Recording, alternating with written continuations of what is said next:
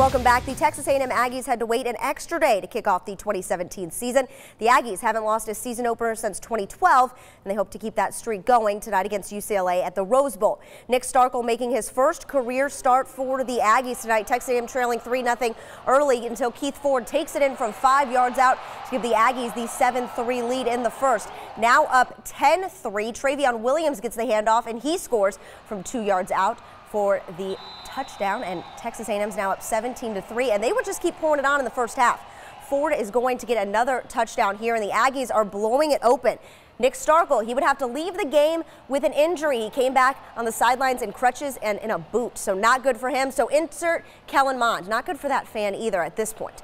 Kellen Mond comes in, the true freshman, former Baylor commit. At one point, the Aggies were up 44 to 10, but they channeled their inner November Aggies, and suddenly it was 44-38. Josh Rosen faked a spike with 48 seconds left, threw a touchdown pass looking like Dan Marino. That tied the game at 44. The extra point gave UCLA the 45-44 and that would be your final score. What a game. The Aggies fall in Pasadena 44 to 40, 45 to 44.